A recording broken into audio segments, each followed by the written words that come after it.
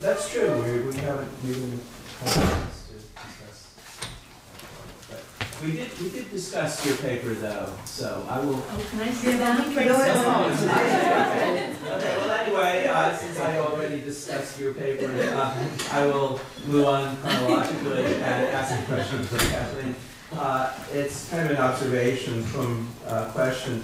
So one of the functions of German so uh, is the, uh, or several of them actually emerge from the expressivity you were, you were suggesting. And uh, in, in English, uh, so also has a lot of uses. Uh, and one of them is the uh, intensifying so, which corresponds to one of the functions that you talked about in German. And that has a kind of an interesting history because um, it was viewed for a long time as being a specifically uh, feminine use. So Jespersen brings up the so without a complement as a marker of women's speech style. And independently, Robin Lakoff, uh, several decades later, also brings it up. That, that was so beautiful. Uh, I was so interested in that, as opposed to, I was so interested in, in that talk that I wrote to the author afterwards, which is, which is okay for men to say. Interestingly, though, if you look at the, at the record of, uh, of writers, we find that uh, male authors uh, from Mark Twain uh, and uh, Walt Whitman to Hemingway and Churchill uh, do use um, intensifying so without a complement uh, in their letters, but not uh, when they're narrating uh, prose. So it, it seems to be a register marker, not specifically linked to gender, but um, to a specific style. Out of that, so uh, I would argue at least, comes the so-called Gen X so, also called drama so, in examples like, uh, you're so not gonna believe this, or you're so fired, or I'm so not gonna study tonight, um, which uh, is a, a associated with uh, gender uh, to some extent, with age to a much greater extent, either age or possibly uh, change in, in progress. It's hard to tell until we really get the final results there. And I was wondering whether there's um, any evidence that the that specific intensifying so in German, uh, in various varieties of German, including the Kiezdeutsch uh, varieties, uh, A is associated more with women than men, either rightly or wrongly, and B shows any signs of developing into the Gen X or drama so usage that we find in other. Uh, Thank you for this comment. I actually heard yesterday about Yale. Yeah, the Grammatical Diversity Project, yeah, we have a page on that. Yeah, yeah, so I will definitely check that out because it sounds really interesting.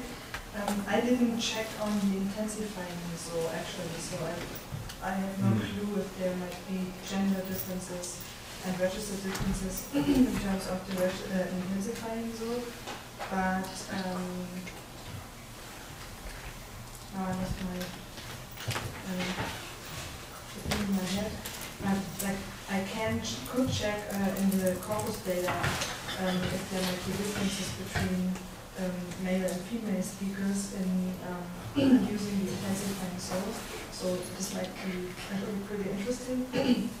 oh yeah, the other thing was the drama zone. Hmm. Well, I could imagine that you could also say in German, ich werde heute so nicht zur Uni gehen. So I will so not go to university. Hmm. But I don't know of any research on that. No. So.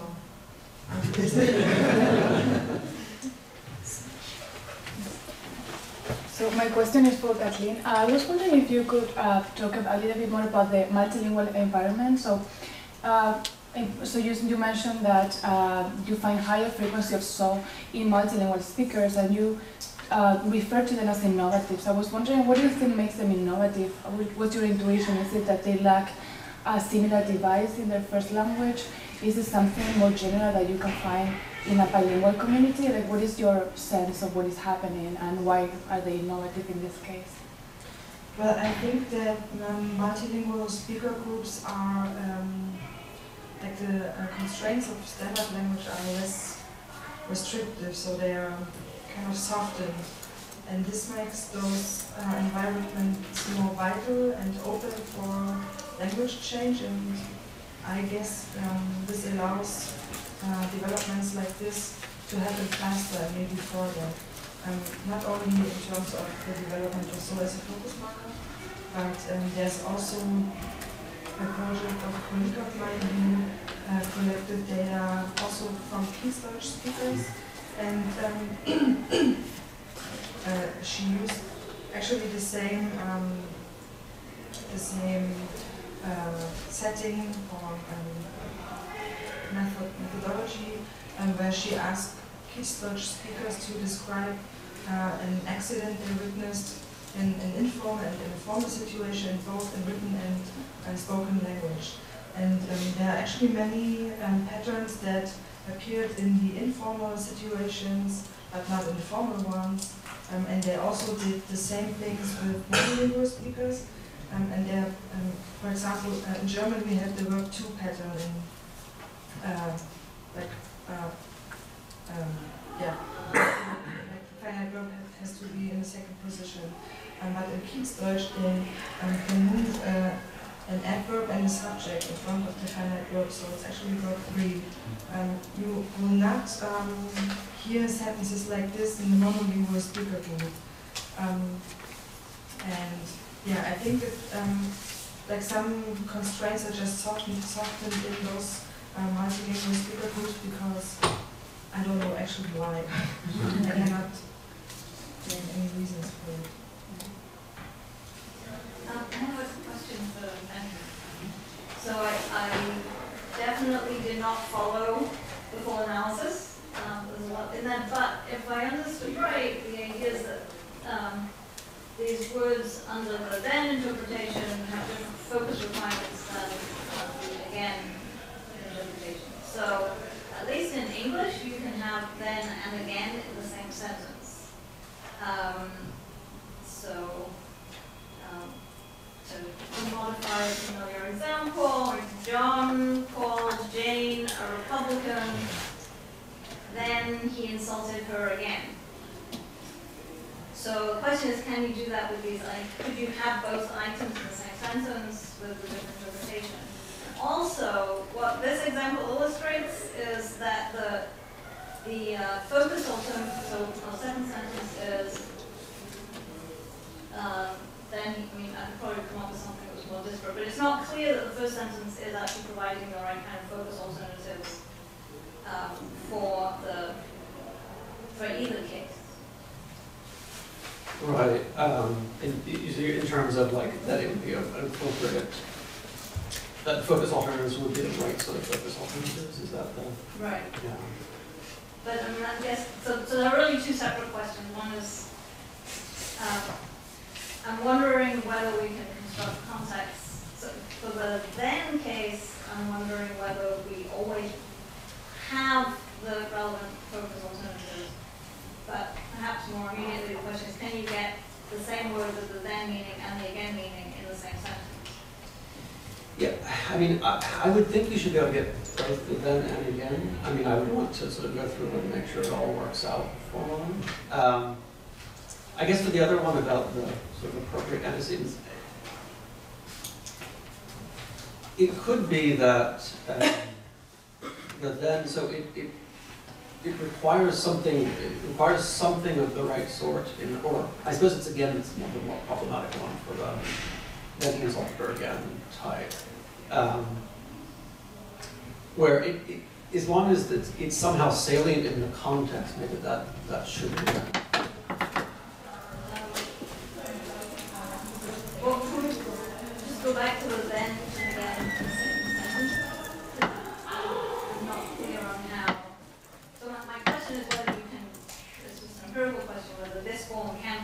Repeated with the two different interpretations in one clause. If it can, it's hard for me to see how in one clause you can get, the fo- you can satisfy the focus requirements for the again version and the focus alternatives for the then requirement, which seems to be broader. The then seems to require repeated. I mean, the, I mean, the then would require something, some sort of causal piece to be focused. Um, But again, requires just the temporal element. right, so I mean, they would, they would be, would be associated, they would be associating with different focused pieces. you're assuming multiple, multiple cosines. Yes.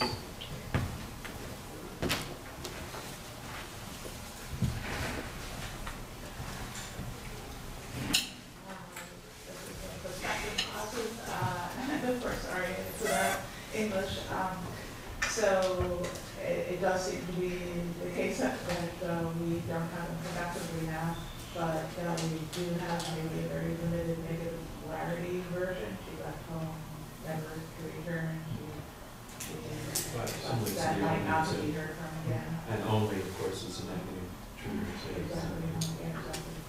And As well, um, since they're supposed to grow out of this, this one, we grow them and then lose them. Thanks for this. I absolutely agree. But I mean, the point is that you have no complementarizer dedicated. This is really interesting because got two clauses uh, in English and in Dr. two clauses in English, and I think uh, so that clauses in English cannot be relative perspective clauses. And this is the way how perspective clauses are developed, I guess. I thought they were Yeah. only because they looked exactly. Exactly, right. Yeah. I totally agree that they're present in English, but uh, yeah, the way how they developed is the other way. Uh, My question is for Kathleen. Um, so you mentioned that uh, language, uh, the, this, you categorize this change as um, a change from meaning to function, uh, some uh, kind of bleaching. Well, I, I was wondering if you have considered the possibility that this is actually due to an increase in the use of this form. Uh, possibly, I would like to suggest due to accessibility. Um, uh, that is deriving this change. So you, the, the speakers use uh, the more, and uh, uh, therefore it appears in a lot of contexts, and as a result, um, uh, the function is diversified. Um, and the reason I'm bringing that up, I'm thinking about the two populations that you have uh, found uh, a, a high uh, increased use of this form in. One is the adolescents, and the other are the multilingual. These two populations are both uh, people who might have more accessibility problems. Uh, in the case of the adolescents, it might be because of changing environment, and in the case of the multilingual, uh, it's because there's just too much in their head, I'm thinking. Michael Ramscar does work that shows that uh, older speakers have more uh, accessibility problems because the size of the lexicon is uh, bigger, and so, um, yeah, just wanted to. Um, well, first, I don't think that um, the focus marking so is a sign for or is used to like um, fill the time that I need to find the right word. Not in any of the This is functions. more of a vagueness marker that would be used in, in those contexts. So a lot of people in English have been saying that on like for a long time, but now it's kind of switching and they're kind of accepting that there's this function for like in English where it appears in places where um, it is a mark of accessibility problems. For example, after the before the noun. And that's very strange in a sense for some speakers, but uh, it's starting to happen. So. But how you could, how could you test for it? Because I would, I would expect that um, if it is a marker of, I need to find the right word, then I would also might use a kind of delay or pause, especially, and there are um, examples or usages of where this happens, so the so is uh, um, spoken a bit longer. It's like, um, ich habe so Nudeln. I ate so noodles. Um, but then you have this, stretch of so and a little pause between so and then the noun or whatever that might follow. But this is actually not the focus marking thing. But yeah, it might. And the other question was the like the relation between the frequency and the um, bleaching process. Yeah, it was whether it's bleaching um, Maybe- whether it's because it's used in all these contexts. You see uh, an increase in the you know, the, the diverse functions that is happening. Mhm. So do you mean that um, from a historical perspective? Yeah, from that argument that uh, the uh, pragmatic, pragmaticalization, I've never said this word before, so, yeah. Yeah. I would love to, to answer this question, but um, it's hard to find corpora where you can check on the usages also because you need, um, it's, it's part of spoken language, so you need a corpora of spoken language and then um, you need accents and all that stuff, so it's not easy to find historical corpora with those information. So unfortunately, I cannot answer this question. I also have a question Kathleen. So I was wondering when, when you say that the domains are expanding, uh, is there also a particular order of expansion? Because I think I can use so with DP and AP and VP, but you know, that's it for me. So uh, can you kind of try to that um, development and progression as well? And secondly, uh, so some of the examples that the focus marker has like so doubling. Yeah? So something that's so beautiful, so um, so where does that come from, and is that like part of the development, do single cell and the co-occur? Well, I think that I can I cannot um, answer the question if it's a development in the historical sense, but um, I I would guess that um, the first option that the community would use is the default option, so the key position. Um, and then obviously next is the first position because otherwise we would have all three uh, options in our communities.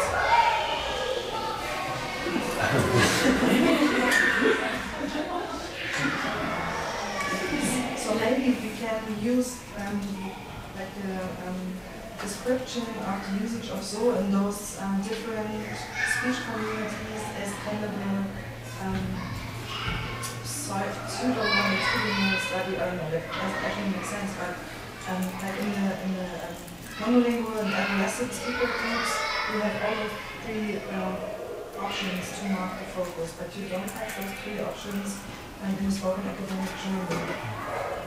It might be that we will have the third option as well in years, I don't know. That would be good.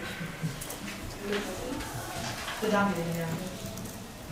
The. And the doubling um, is described as um, used to delineate the focus constituent towards slides. I have a short question for Łukasz. Uh, I, I was wondering about the, uh, the distribution of wood, uh, so the, the uh, nine turns of twelve, or the implicit twelve. Uh, I was wondering if that was partly due to the fact that the complement is a kind of episodic pass example, and so if we switched it uh, to say, I always put the umbrella, uh, I always put my umbrella right next to me, only to probably uh, with wohl, uh, forget it, um, or, uh, you know, other cases of Łukasz has studied for the exam for a long time, only to probably sleep through this alarm or something like that.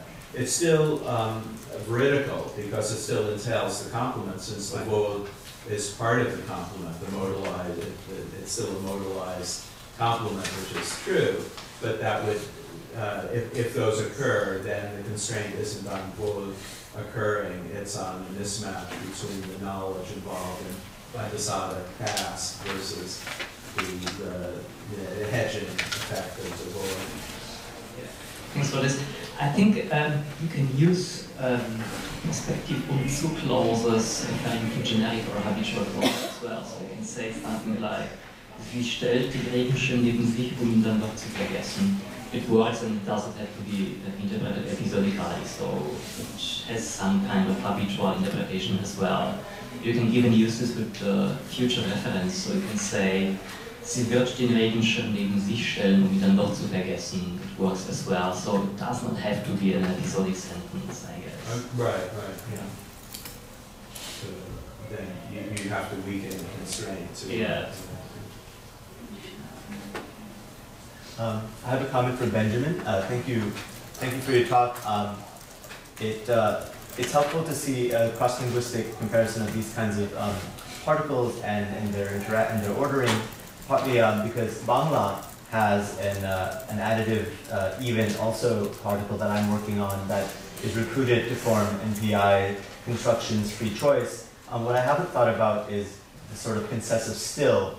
Um, it does seem, um, my first intuitions listening to your talk are that Bangla also recruits the additive even O, but not to combine with again, but possibly to combine with um, demonstrative markers like O or pronouns like ta. Um, so I don't know if work that's been done in Bangla, but um, to some extent, all, all the same ingredients are here, but uh, which, morph which morphology is recruited uh, might differ a little bit. Um, so I'd love to talk more about that. Yeah, no, thank you for that. So this is for uh, Lyn. So I was trying to, well, Lyn actually, I was trying to see how I could use the, you know, the, the, the dual system uh, to try to get prospective, uh, the prospective meaning out of the purpose, I mean, the purpose out of the perspective. And, and so, in the, so, but before I could even begin to think about that, I, I, I realized that I wasn't sure what the, what you had in term, uh, what you had in mind in terms of the interplay between the two systems, the grammatical pairing and the performance pairing system. So, because in one, for instance, in, in, in the grammatical pairing, intentionality, the speaker's intent is unnecessary, whereas in the performance it is necessary. And plausibility is necessary in one, and plausible and implausible is the other. So, so uh, can you So I assume that when people process sentences, they use the grammar of their language to do so. And so uh, the grammar actually just specifies the compositional interpretation of a sentence, and of course there may be and so forth. So there, you know, there's nothing special there about the grammar. The question is what happens when you've got an input that is um, uh, uh, analyzable as a speech error, right? Or is actually a speech error. And so, um, you know, according to the grammar that I'm assuming, a passive mass, a passive active mismatch, an ellipsis, is an error. It doesn't, it doesn't obey all of the grammatical constraints of the language. And so the question is then what happens? How is it processed? And the proposal is that in particular kinds of cases, it's patched up, and that's why it sounds so good. Okay, and those particular kinds of cases include that you end up with, with a, uh, a plausible meaning. Okay, So I don't know of cases where people are, are willing to repair the input, delivering a really plausible meaning, or delivering a meaning that is at odds with something that can be inferred about the speaker's intent. Doesn't that help?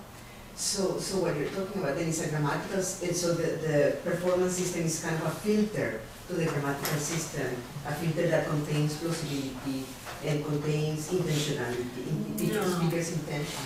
Think about it the other way around, that mm. there are certain things that go beyond what the grammar gives you, okay? And so the grammar is there it's just the systematic knowledge that you're always using in the process processing sentences, right? And sometimes you don't need to go outside it, the sentence is just a perfectly good sentence with a perfectly good interpretation. But that's not the only kind of input you get. And so this is looking at how perceivers can actually stretch beyond the perfectly grammatical, okay?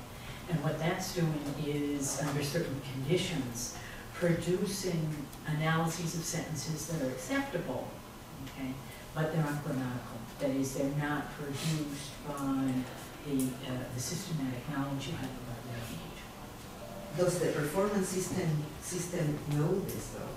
Because it seems to me, so I actually looked at the Otero case and that's the only way I say, se alquilan apartamentos. Pretty reflexive. That's right. Right. Yeah. Right, And but so- can you get an impersonal interpretation? Well. I get the, inter- so I give the impersonal interpretation to the reflexive one. Yeah, exactly, that's what he It's- says. So, you no, should no, do. I am the one who- that would, that would take even longer to laugh. Yeah, Because it's like, how else can you say it? exactly. it's perfect. And so that, that's the thing, so that's my performance system giving me no flag about anything. And uh, therefore, how, the, how does, does it know that it's part of the grammar, or it's not part of the grammar? I mean, it is. Right, I suspect if you had to study the sentence and then give it a rating, okay, you might be a little bit less happy. I, you know, I don't know that. I really wonder. again. Mm-hmm. But, uh, you know, so, uh, one way of thinking about that is you've got two very high frequency forms, right? The form of the input is perfect, it's just that you're pairing it with the meaning you would have gotten if you had a different number on the verb. Last question. Uh, so my, uh, my question is for Lyn, and it's actually very relevant to what you guys are talking about. So I wonder if, uh, in some of these cases where the sentences are acceptable, uh, it's, again, it's a form-form effect, where it's a very local kind of, um, um, the connection between the forms that's going on. Boy, and I have a paper arguing that if, uh, as you're going through a sentence, if you can't access what's upcoming, uh, but the form that you're producing currently can cue the form that was before it based on the measures of forward, backward transitional probability. You actually go backwards, and that's how repetition is produced. Uh, as you know, we get uh, accessibility problems and we have speech errors, and repetitions can be even up to three words back sometimes in some cases. And some of these examples really struck me as things that sound okay because the transitional probability between the forms is so high like the Israel and Palestine example, much more. So much really cues more, or more following much sounds really good. Or look at each other in the eye. At is a form that is highly uh, um, probable or uh, highly frequent after look, and so that's maybe that gives a sense. That probably governs the frequency of these blends, right? So when you're actually uh, pursuing one analysis, there's an equally active analysis that has some particular advantage, and then you don't manage to fully inhibit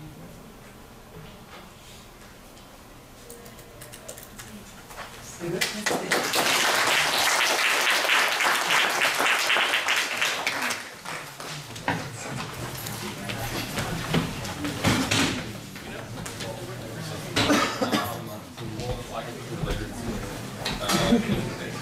He told me.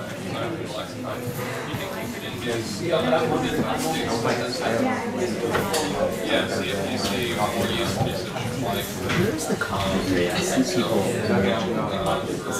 It's in the foyer. I think that's on the foyer. The foyer? Can I go out this way? Uh, I have to go out. You could, it's all waiting.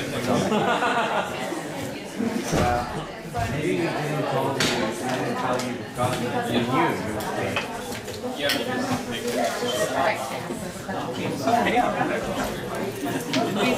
No, um, so my one for my suitcase, I see one, one person actually has one here. Um, it- I, I left it at Courtyard Marriott, but it's, uh, just got it to say the three o'clock break, so it's, here it was. So, um, are we walking, all walking to bar together? Yeah, we're gonna be walking to bar, like whenever, right when it ends. So I could do this walk, then I have to go to bar. So I don't have any choice because that's on the way to the. It's pretty, it's pretty on the way. The space that we have at bar is like a corner of a restaurant. So we kind of have the whole corner. So what I'm thinking is that there can be a designated corner. It's kind of, it's, I, there's like the bar with drinks, And my daughter just. two big tanks, and we have this corner. So if we use this corner here to store luggage, nobody is going to be walking through that except for us. Uh, so that might be a good a good place to, to stick it, especially if there are like five or six cases or something, which I imagine will be uh, for a bunch of people. Your opinion on the that bar is so good to taste. Can I walk? I would walk. Um, but you know, you're like you're not me, right? Um, it's a little. It's gonna be a little dark. I might just. Or, or maybe not quite yet, it's a seven oh nine thing. And uh, here's another question. Well, I get to see people and get some quick on there only from six to six thirty. Yeah, so I think that we're going. My estimate is that we're gonna arrive at bar around 6:52. Um, assuming that this like goes a little bit late and people have to like gather all their belongings, I'm guessing we're gonna get there at 6:15. So my plan with bar is to have all the people there when we're when, when we arrive, like all the pizza will be there. Um, I still haven't, you know, finally confirmed today because I don't want it to be there for like half an hour and then we get there and it's all cold, right? Um, yeah, it's kind of tricky. So 709 train. I feel like you could leave at 6:45. You feel